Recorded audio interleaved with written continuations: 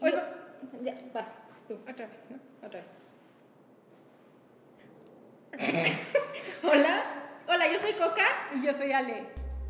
de Estudio Gourmet.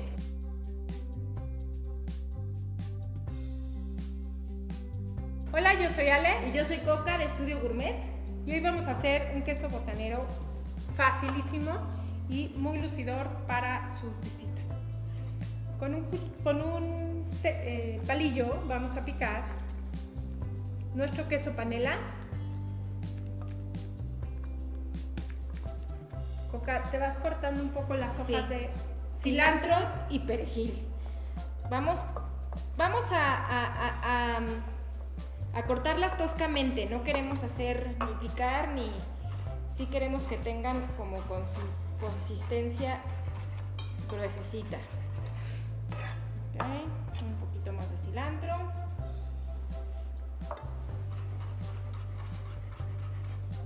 Yo tengo ajo explotado que voy a untar en la parte de arriba del queso. Si no saben lo que es un ajo explotado, vayan a nuestra sección de tips y ahí hay un video de cómo explotar un ajo, para que sepan exactamente a qué nos referimos cuando decimos ajo explotado.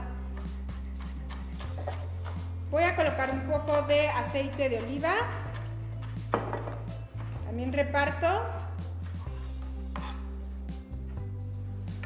Y voy a espolvorear chile piquín bajo en sodio sobre el queso. Una capa gruesecita, ¿eh? Bajo en sodio para poder ponerle bastante que dé sabor y no quede tan salado. Ya tenemos cilantro y perejil picado toscamente. Mezclamos y colocamos sobre el queso. Así, ¿eh? Con, Con ganas. con ganas, muchas hojas. Y aquí vamos a agregar aceite de oliva. Que lo moje todo para que a la hora que lo metamos al horno, esas hojas se frían Y se haga la costrita. y se haga, bueno, que llegue a la costra del chile y que esas hojas queden crunchy.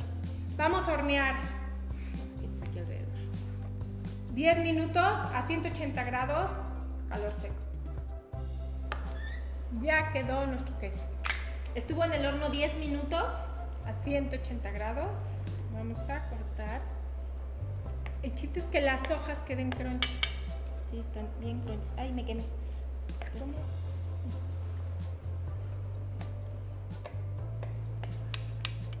A ver, quita. Ahí está.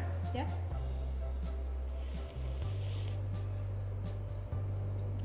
Ya quedó el queso delicioso y es una super opción para la botana. Y para aprender recetas como estas y muchas otras, vengan con nosotros a Cocinar Estudio Gourmet o suscríbanse a nuestro canal de YouTube aleicoca.tv. Adiós. Adiós.